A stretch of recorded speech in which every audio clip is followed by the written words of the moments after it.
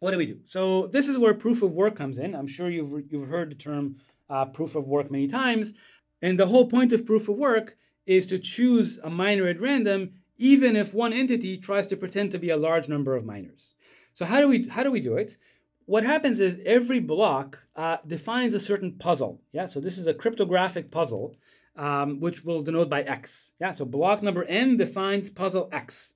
Now, what is a puzzle? A puzzle is basically a problem that takes a certain amount of work to solve. Yeah, so let's say that um, we'll call the solution Y. So Y is a, a, solution to a puzzle, and it's very easy to, to verify that a, if a particular Y is a solution to puzzle X. So to mine a block, basically the miner has to find the solution Y that solves the puzzle X defined by the previous block. Yeah, and that allows the miner to create the next block. The next block is going to define a new puzzle, X prime. That's going to have a solution Y prime, and so the system continues. So how does the miner find the solution X? Well, let's suppose that the density of solutions is about 1 in 2 to the 70. That's roughly the density in the Bitcoin proof of work system now.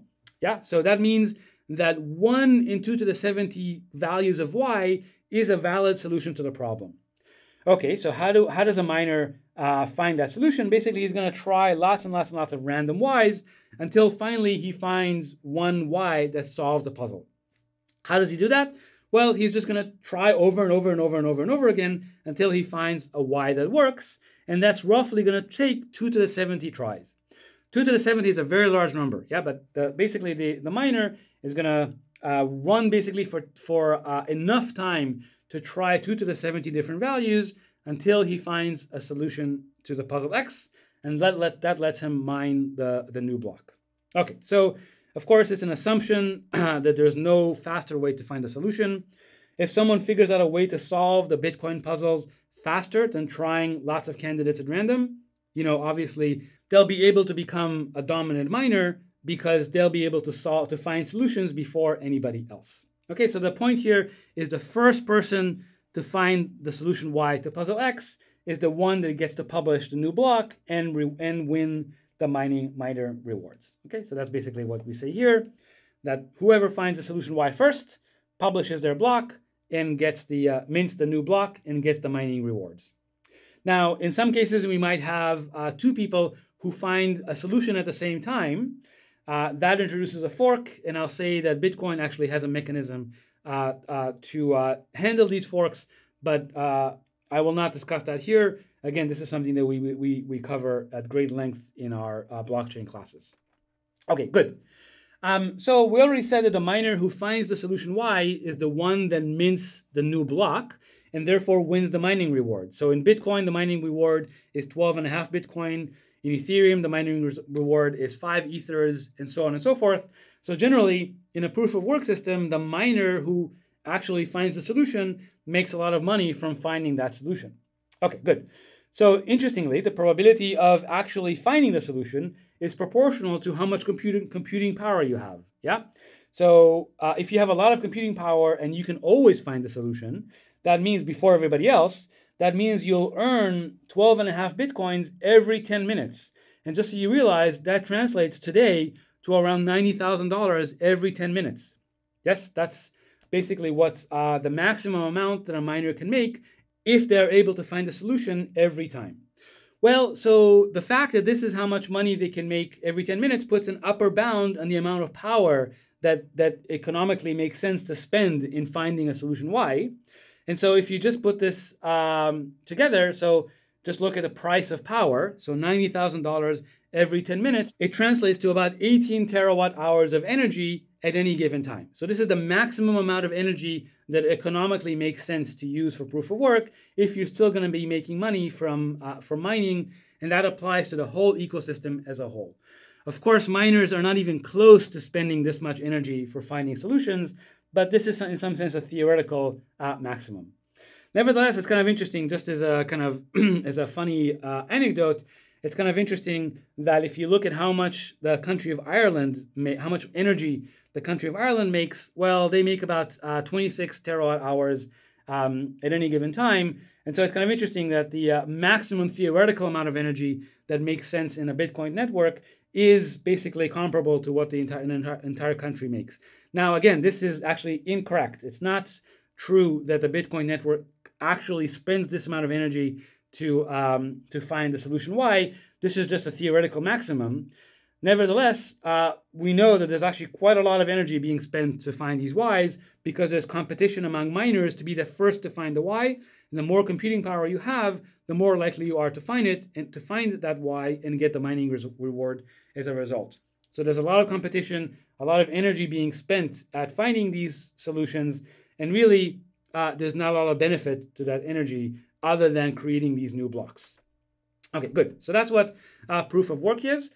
The reason uh, it prevents, pres presumably prevents these Sybil, Sybil attacks is um, if you're going to say that you can control many miners, that's going to be expensive for you because you are going to incur quite high costs in the power that uh, your hardware is going to demand. Yeah, so controlling many miners is uh, not that easy. So that was the idea that would lead to presumably decentralization of the mining infrastructure. In reality, unfortunately, that hasn't quite happened. And so if you look at blockchain.com, they will tell you the distribution of miners for different blocks. So for every block, we can identify the miner that mined that block, um, right? That's the miner that gets paid the Coinbase. Um, and so we identify the miners and we can look at a particular 24-hour uh, window to see who mined the most blocks.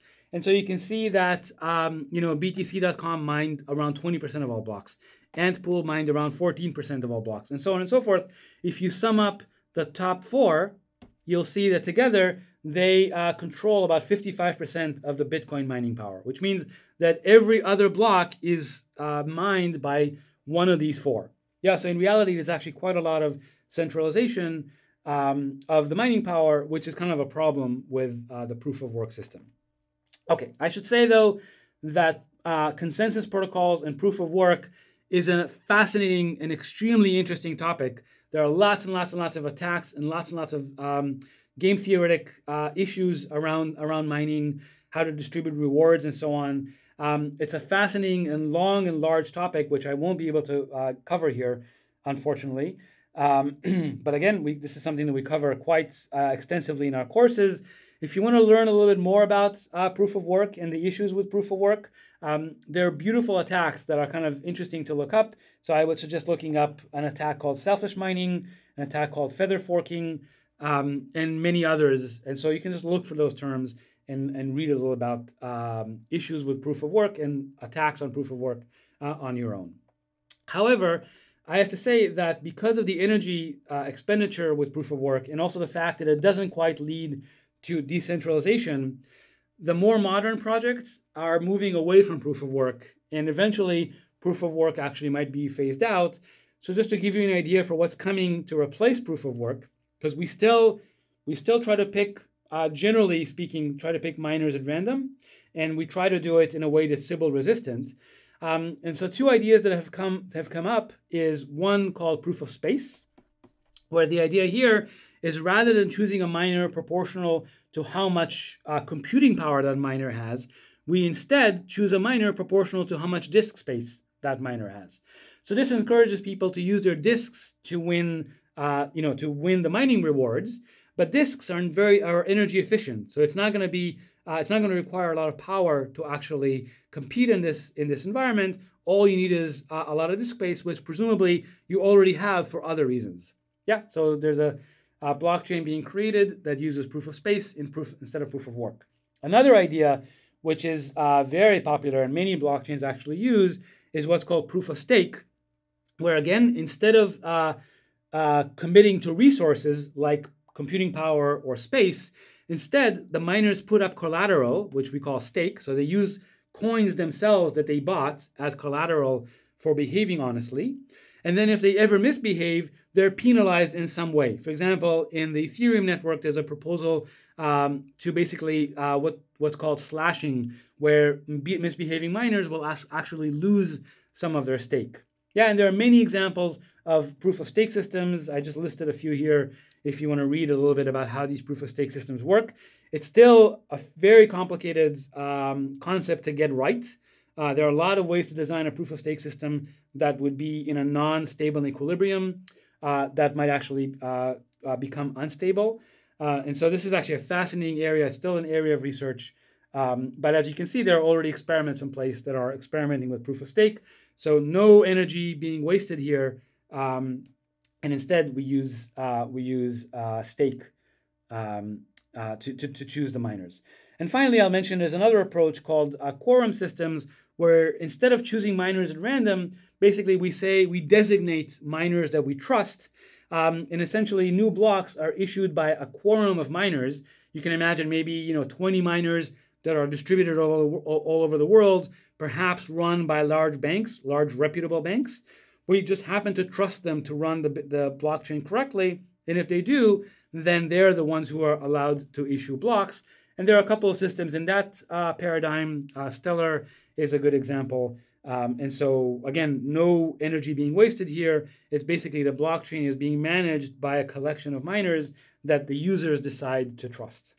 Okay, so that's another example of a consensus system. Okay, good. So that's what I wanted to say about consensus mechanisms. And so we're almost done. Uh, in the next segment, I'll just tell you a few final thoughts and then we'll conclude.